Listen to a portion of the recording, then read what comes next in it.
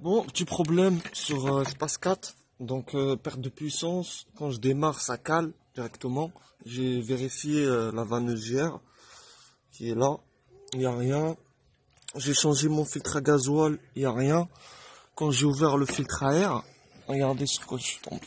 La mousse, là, qui bouchait l'admission d'air. Quand j'ai fait le diagnostic, ça me disait que le problème venait de l'admission d'air. Donc, c'est ça qui bouchait eh bien le l'espèce de comment on appelle ça?